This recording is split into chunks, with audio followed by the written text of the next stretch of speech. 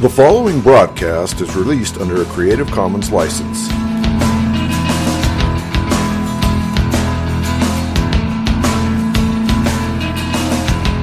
I believe in Jesus Christ,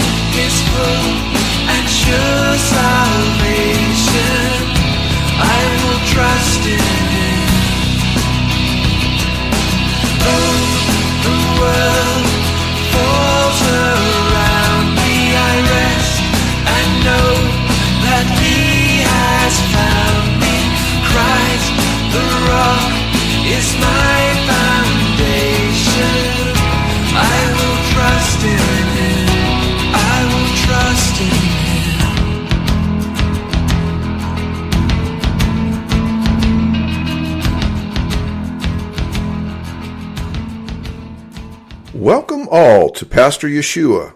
You've been listening to Creed by Richard Jensen from his album Order of Service. By way of introduction, Pastor is an acrostic which stands for preaching all salvation through one Redeemer. Our Redeemer, Yeshua, Jesus, is the Hebrew name for the Lord. It means Yahweh, the Lord, is salvation. Translated from Hebrew into the Greek language, the name Yeshua becomes Jesus. The English transliteration for Jesus is Jesus. This program deals with apologetics, questions on and about God, the Bible, and the Christian faith. I take questions and seek by Scripture to give answers and encouragement for everyone, including the tough minded living in today's skeptical society. And now, let's join Pastor Yeshua. Welcome to Pastor Yeshua. In this episode, and by God's grace, episodes to follow, we revisit a popular topic wherein we continue to look at various apparent, supposed Bible contradictions presented by atheists, skeptics, and humanists. As before, we will examine them against what the Bible says in context, according to proper exegesis, using the languages in question, correct grammar, the culture of the day, and most importantly, the prism of spiritual discernment given by God to those who truly desire to understand His revelation of Himself and His relationship to man. As a prelude to answering any apparent Bible contradictions, if you, as a listener, have not done so already, listening to the introductory episode regarding questions about contradictions will be an indispensable prologue to fully understanding, or more importantly, answering any question or apparent contradiction which exists. Therefore, I will have to rely from this point forward on the listener to faithfully adopt the biblical posture of the Berean Bible student who is willing and able to do their own respective homework in order to avoid the pitfalls inherent from failing to do so. In the episodes to date, we have examined and answered 49 questions regarding supposed Bible contradictions from our old friend, Mr. Ash, the atheist, skeptic, and humanist. Beginning in episode 16, we began the double jeopardy phase of really serious Bible contradictions, which constitute a supposed fundamental attack on the Christian message. In this episode, we hit a milestone with our 50th question, an apparent contradiction put forth by Mr. Ash. For our 50th randomly selected serious fundamental attack on the Christian message and apparent contradiction, we have a special question from Mr. Ash. In this case, the answer to Mr. Ash's question answers not one, but several questions which Mr. Ash typically asks. Normally, we would address one question and one answer. However, the answers and questions involved here are all related to a fundamental misunderstanding and ignorance regarding the fundamental issues already discussed in our introductory episode. While I realize that this has been Mr. Ash's problem to one degree or another with all 50 questions to date, nowhere does the issue become more evident than with the following issue. So, without further ado, Mr. Ash asks, What day was Jesus crucified? Alternately, Mr. Ash's confusion on the matter ultimately causes him to ask the following questions, which are related. Was Jesus crucified before or after the Passover? And finally, was Jesus in the grave for three days or not? In order to construct this supposed contradiction, Mr. Ash cites the following verses. Matthew chapter 26, verse 17.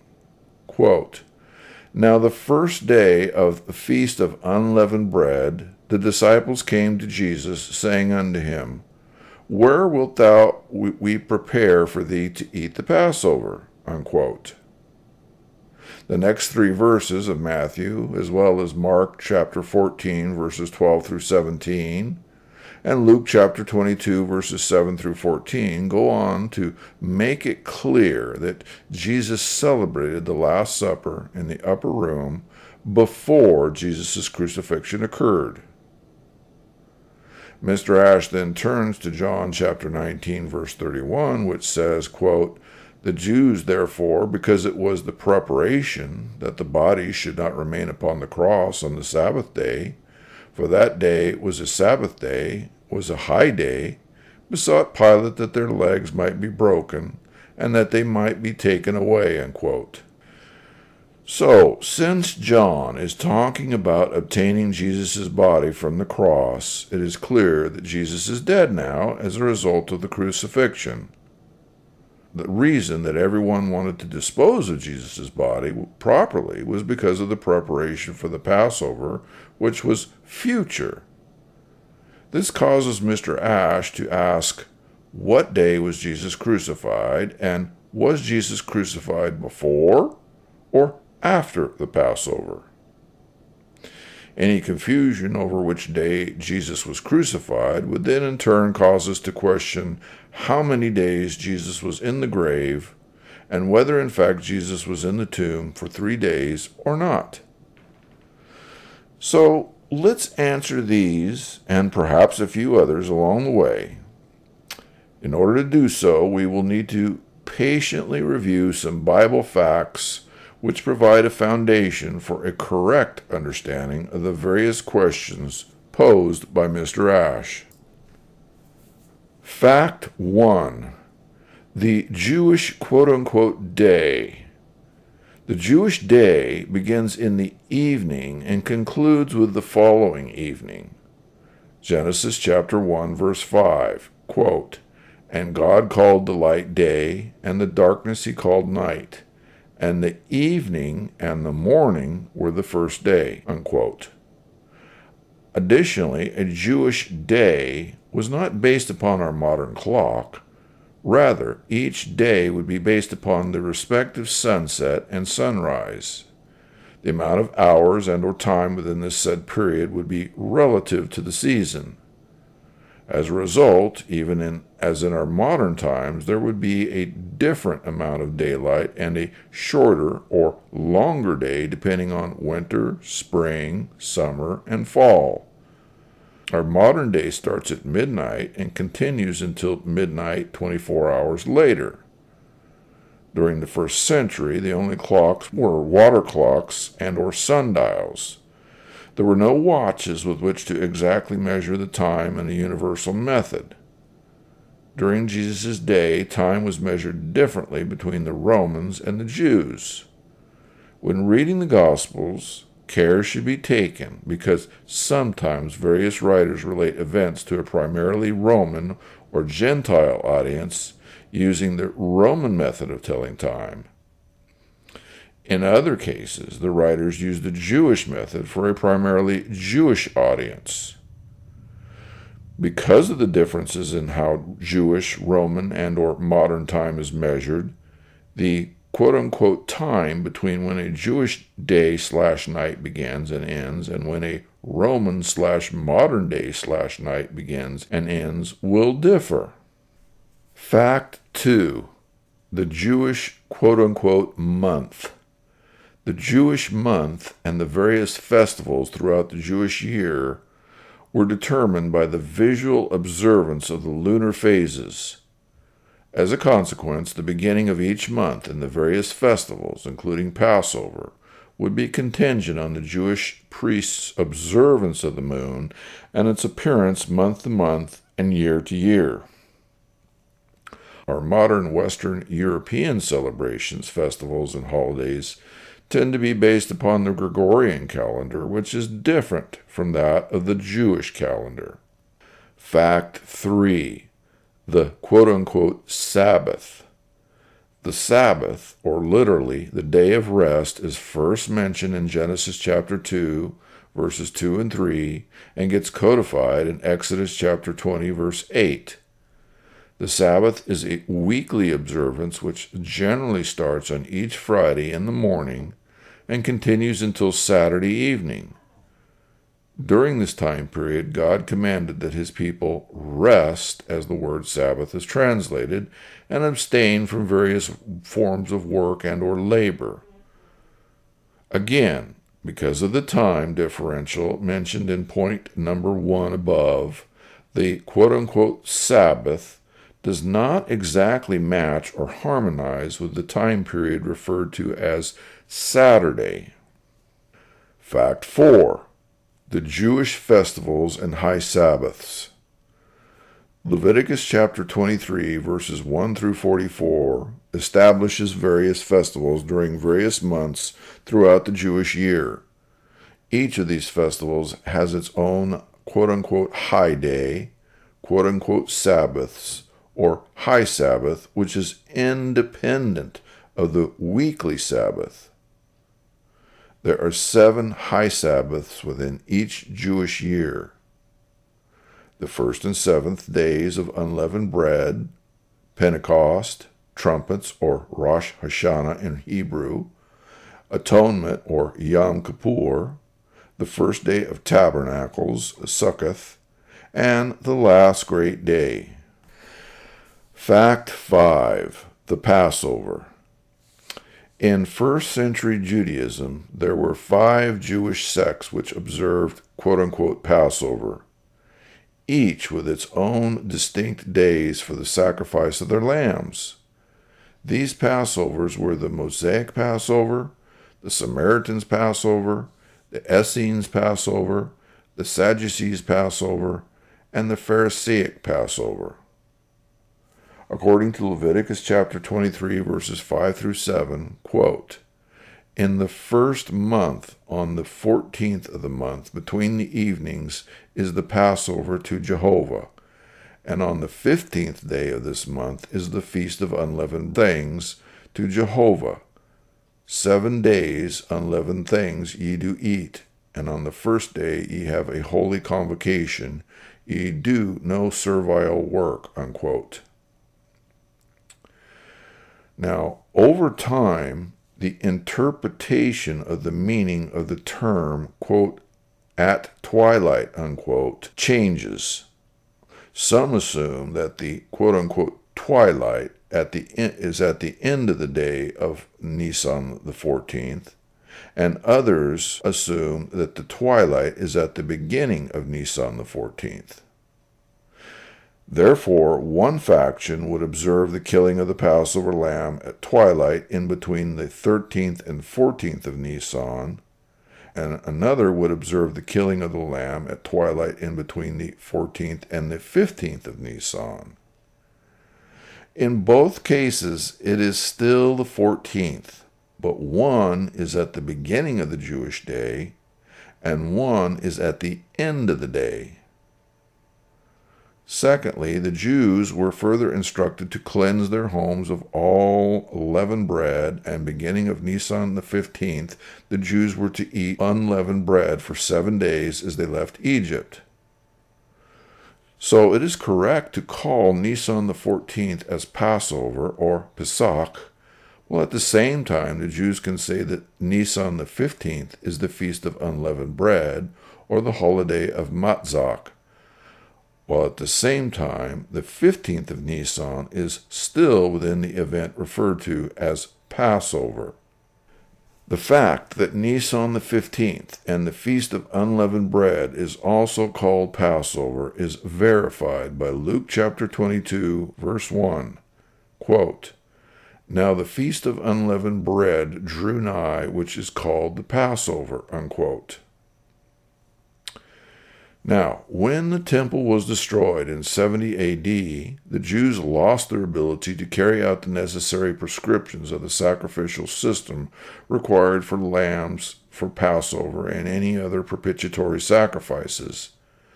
Thus, moving forward to present, since the tools necessary to celebrate those aspects of Nisan the 14th and the Passover were no longer available, Modern Jews began to start the Passover celebration on the 15th. If we align all of these various Jewish cultural considerations into the framework of the Passion Week of Jesus' life and death, we come away with a very different result from that of which Mr. Ash concludes with a Western European understanding devoid of Jewish background. So let's look at the Passion Week of Christ, do the calculations to determine what days of the week correspond to the Passover, and then correlate that to our gospel accounts. When we do, as we look at Matthew chapter 26, verses 17 through 20, Mark chapter 14, verses 12 through 17, Luke chapter 22, verses 7 through 14, and John chapter 18, verses 28 through chapter 20, verse 2, I believe that the best harmonization of every event places Jesus' crucifixion in the year 30 AD. Consequently, we see that in that year, Nisan the 14th falls on a Wednesday, which would be the fifth day of the week in that year. According to all four above gospel accounts, Jesus meets with his disciples in the upper room to conduct the Last Supper or Seder, to take communion, and to celebrate the Passover. During that event, notice that at no time do we hear of Jesus or anyone else present at the Last Supper slaying, sacrificing, or eating a lamb. The only lamb present, in fact, was Jesus, who was and is the Lamb of God. It is Jesus who institutes communion and offers unleavened bread and wine as the type symbolic of his flesh and blood, which looking forward will soon be sacrificed and shed for them and us. Now, to further complicate matters, certain sects, such as the Essenes, kept a slightly different calendar with slightly different dates based upon a different reckoning of the length of a year. As a result, the Essene date for the Passover would be different from the Sadducee and or Pharisee Passover date. As it turns out, if we examine the relationship of both dates during a 20 year period around the presumptive time of Jesus' death, we find that in the year AD 30, the Essene Passover falls on Tuesday, Nisan the 13th, while the Pharisee Passover falls on Wednesday, Nisan the 14th.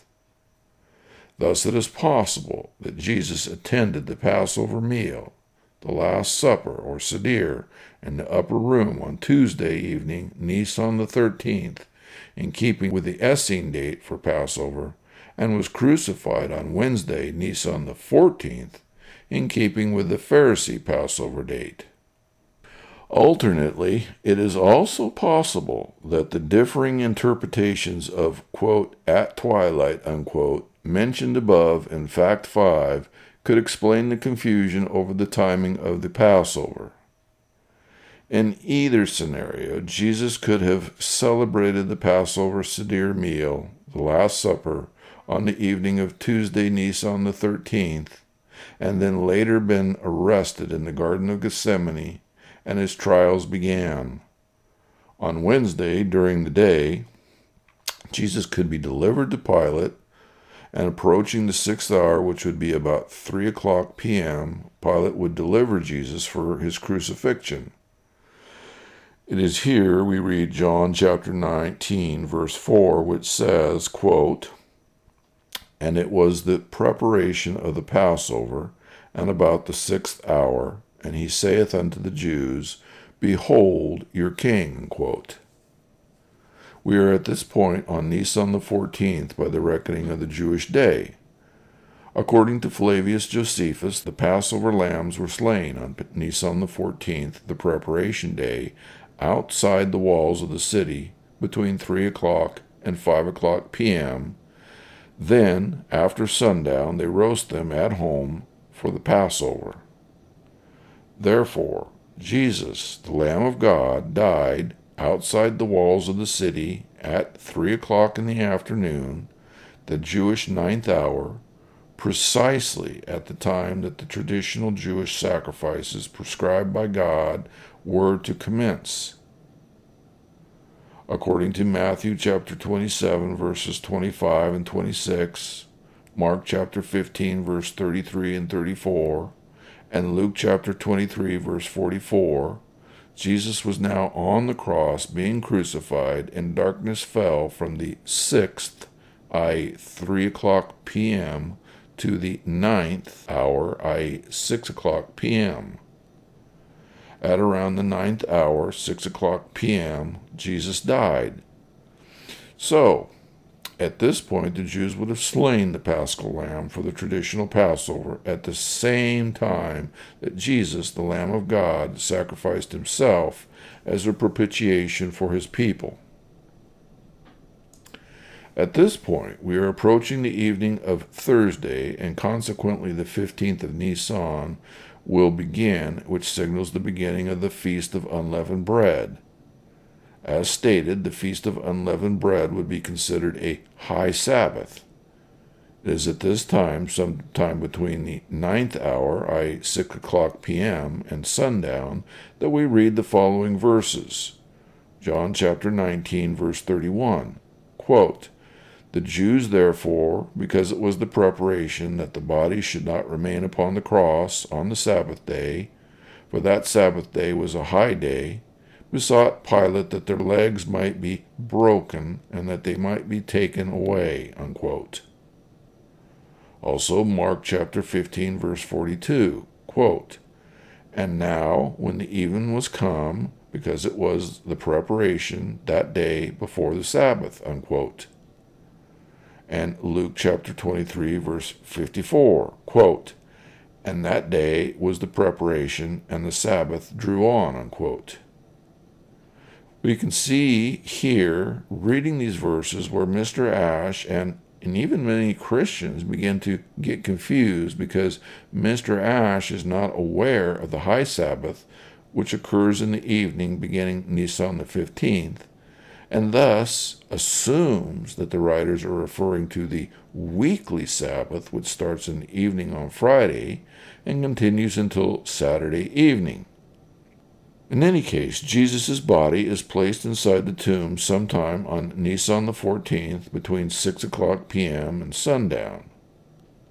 But, because of the unnecessary confusion on the high Sabbath versus the weekly Sabbath, readers incorrectly assume that Jesus' body was placed in the tomb between 6 o'clock p.m. and sundown on Friday. As a consequence, we have readers then assuming that Jesus was crucified on Friday and then later entombed, giving rise to the event erroneously being called, quote, Good Friday, unquote, a misnomer which persists to this day. However, as stated, Jesus was crucified and entombed on Wednesday, Nisan the 14th, between 6 o'clock p.m. and evening, which was the beginning of the 15th, a high Sabbath in keeping with the Feast of Unleavened Bread. On Thursday, Nisan the 15th, Jesus' tomb is sealed and a guard is placed on it. At evening on Friday, the weekly Sabbath begins and continues until Saturday evening on Nisan the 17th. Sometime between Nisan the 17th, after the evening, and Sunday, Nisan the 18th, which would be the first day of the week, Jesus resurrects from the dead. Afterwards, the women come to the tomb in order to anoint Jesus and discover the tomb empty. Jesus then announces himself to Mary and later to the disciples as having risen again. Having addressed clarified and resolved the supposed contradiction regarding whether Jesus was crucified before or after the Passover, and what day Jesus was crucified, we turn our attention to whether Jesus was in the grave for three days and nights or not. In this case, Mr. Ash typically sets the stage for his supposed contradiction based upon Matthew chapter 12 verse 40, which says, quote, for as Jonas was in three days and three nights in the whale's belly, so shall the Son of Man be three days and three nights in the heart of the earth. Unquote. Variations of Jesus' prophecy are repeated by all four gospel writers, with Matthew having the greatest specificity. Having cited one or more of these, Mr. Ash will then turn to the same arguments and issues which have already been visited regarding various confusions over when the Jewish day starts, the lunar month, the Sabbath, Passover, the Feast of Unleavened Bread, the High Sabbath, etc. And ultimately, Mr. Ash then uses the errant mistake made by many, including some Christians, that Jesus was crucified in the year 33 AD and died on Friday, Nisan the 14th, at around 6 o'clock p.m. Mr. Ash then proceeds to count the days that Jesus was in the grave as follows Friday, Nisan the 14th, to Saturday, Nisan the 15th, is one day and one night. Saturday, Nisan the 15th, to Sunday, Nisan the 16th, is one day and one night. When Mr. Ash does the math according to this scenario, he comes up with a total of Jesus being in the grave for two nights and two days. Consequently, if we use the erroneous day of Friday, i.e., Good Friday, as the day Jesus was supposedly crucified and buried, one has to use some very creative math to get beyond Jesus being in the grave for more than two days and two nights. Now, if we instead use the corrected information presented above, we find the following regarding how much time Jesus spent in the grave. Wednesday, Nisan the 14th to mm, Thursday, Nisan the 15th is one day and one night. Thursday, Nisan the 15th to Friday, Nisan the 16th is one day and one night. Friday, Nisan the 16th to Saturday, Nisan the 17th is one day and one night. When we use this corrected information discussed before, we come up with Jesus being in the grave three days and three nights exactly as predicted. Additionally, as stated, the evening until midnight is the beginning of the Jewish day. Therefore, as Saturday, Nisan the 17th, is ending at evening until midnight the next day, Sunday, Nisan the 18th, is just beginning.